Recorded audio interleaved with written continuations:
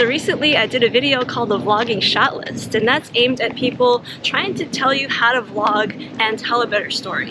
But there is another way of storytelling that I teased in that video which we're going to talk about today. Okay, let's break it down. For thousands of years, there has been a way, like a formula, which uh, people use. I think it's been framed by Aristotle, and it's like a three-phase story arc that is very much used, and is still used for YouTube as well. And we can go over some examples of how that works. So the whole thing starts with the exposition, and that is kind of laying the ground and the backstory for the story that you're about to tell. And it's exactly what it says. You expose the viewer to what they're about to get into, right? If you are someone trying to commit some part of their life or day to your story, they want to know why. So expose them to what it is. And often in novels or whatnot, this is where something dramatic will happen. And I don't know exactly the name, but it's like the catch, you know, like, whoa, what is it in, in it for me? That I will find interesting in this. And then from there we want to do some rising action to lead to the climax. Everybody knows what the climax is, it's kind of the dramatic moment of your story. Hollywood and you know most of the TV shows out there do this really well because you need a climax to really draw in the viewer and make them want to watch the rest of your story. Yeah, so if you had introduced a challenge in the exposition phase, then it gets harder and harder as the story unfolds, and then you have a climax where usually in Hollywood that's where all the the formula becomes cheesy, where it all ties together every single time and blah blah blah. So a lot of times in Hollywood it's the same climax. That's why you see the same types of stories playing out because they're following this exact formula. yeah. And for good reason because it works. Right, so that's really kind of the last meaningful or major thing that happens.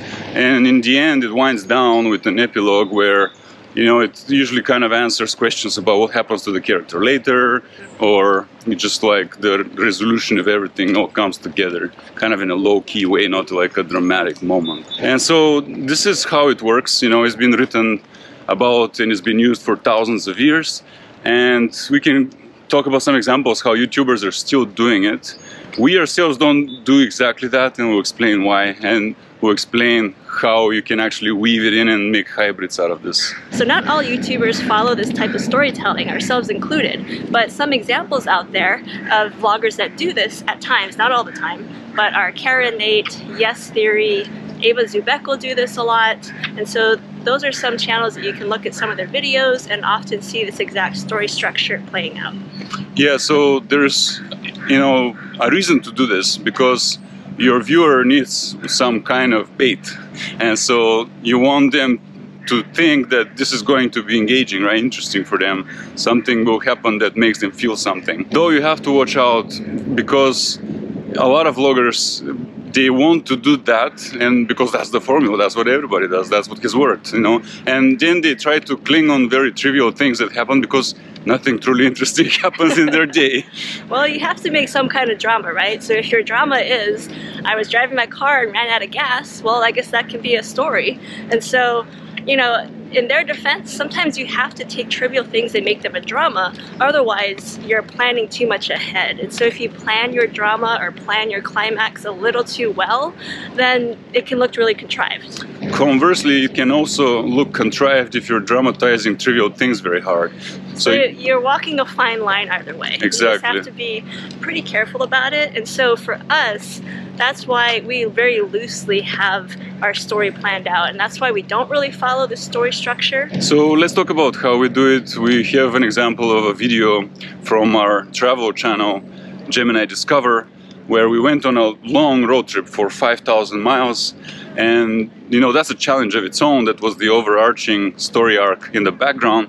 But a certain episode we were driving between Breckenridge and Aspen in Colorado and it was like the fifth or sixth mountain pass we were doing. But this one was the hardest and we didn't even know we were going to do it. In Colorado there's like a daily storm. So this is kind of like a one lane road. Look at this. It's not very yeah it's not obvious but yeah it is this weather is insane I was praying that this weather doesn't catch us when the road is open and you're hanging off the edge. Uh-huh. Which I got my wish. Yeah. But now it's still not really over and we're getting massive raindrops and really strong winds. And so here's an example of us not contriving anything. We just allow it to happen because that's how we do that. You know, we don't like to be over the top staged or dramatic or orchestrated or act in a way that's unnatural to us. But when the opportunity is there, we will do something along that type of story arc.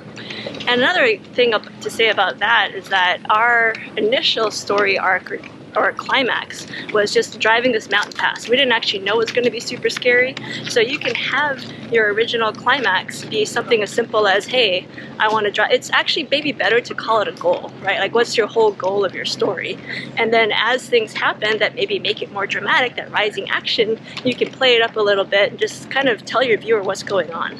So this transitions into the topic that um, since we do travel vlogging, really, there has been a style called a travel log all along on paper and text. And that one works a little bit differently than the Aristotle drama. It's more so here's who I am, here's what I'm out to accomplish. There's a mission, it's farther away, there are challenges about getting there, here's how we overcome them, let us take you on that experience. Mm-hmm. And you will notice a lot of travel vloggers do exactly that. And they don't necessarily try to make a drama out of it. They simply make a travel log out of it. Or some people make a travel guide, and that's something we do as well. And if nothing dramatic happens, we actually resort or fall back to just laying out one, two, three, four, five. This is what is worth seeing on this journey. With that said, if something does go wrong during your whole journey, it's actually better to go along and film it because that can end up being part of your rising action or even your actual climax, depending on how dramatic it is. And I would say that, you know, especially as you're getting started, it can be really hard to film those moments because you don't want to show things going wrong because it looks like, oh, I messed up and, you know, it's going to be super embarrassing. But it actually makes for a better story. And so, you know, we have a couple examples of this where we don't really weave it in according to the story structure. But one would be when we went to Winthrop, uh, part of Washington State here, we actually hit a deer, crashed our car like the first day, and that actually changed the whole outlook of that entire trip. And it's our birthday. Yeah, it's your birthday today. My birthday was yesterday. So it's our birthday weekend adventure.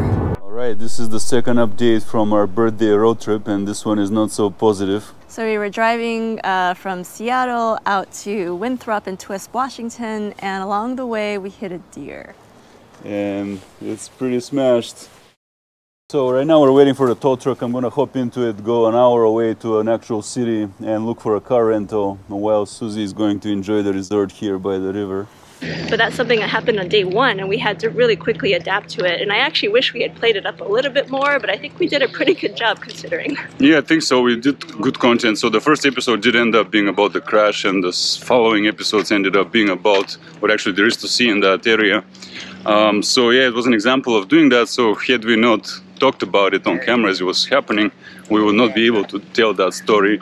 Um, and this is the thing, you want to leave yourself flexibility. You don't want to have too much of a rigid plan in your head, because I think that kind of cripples your creativity. And you are more authentic if you allow things to unfold naturally. Other people have their own styles, they work well for them, and there's nothing wrong with that. Um, I personally, uh, I don't watch things where they overly dramatize trivial things because it makes me cringe and I turn it off. Um, but those people have huge followings. And here's one thing worth saying about all that is that you mentioned Eva zu Beck, who started out really making documentaries about like, oh, here's a shepherd in a village in Romania, and I'm there with a camera to show you what their life is like. So that's documentary about someone else's drama, truly. While lately, what she's doing is a pivot towards dramatizing her life, and it's all about her and those little things that she finds very dramatic or at least tries to present as such and there she loses me because I liked her documentaries but I don't really care for this drama. So I guess that's where things divide where certain audiences actually don't like that as much and they start tuning out versus I actually find it a little bit more interesting that she's focusing more on herself and how she gets through problems and so different audience different different approach to storytelling but it can sometimes work depending on your approach. With travel vlogging in particular, it's a little bit different than the theater drama, and it's actually more experiential, I would say, where you're saying, hey, here's what I'm out to accomplish. Let me take you on that experience with me.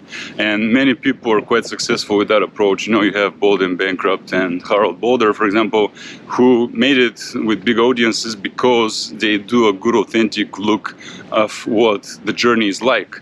And it doesn't have to have a crazy drama or anything, but they truly um, make the viewer curious about, hey, what is it like to be in the biggest slum in India, or what is it like to be chasing baboons or something in uh, Tanzania. Uh, there's another channel, Far and Fearless, who does that really well as well. He's all about the experiences and he tries to seek out unique ones, and that's the interest in it. So you know, you don't have to stick to the theater drama in this case and it's for travel vlogs it's actually more common to do it this way. So these are just a few things to think about. You don't have to stick to it like a formula. Some people think so but you can really be loose. You can do a travel log you can do a travel guide. You can make it all about yourself.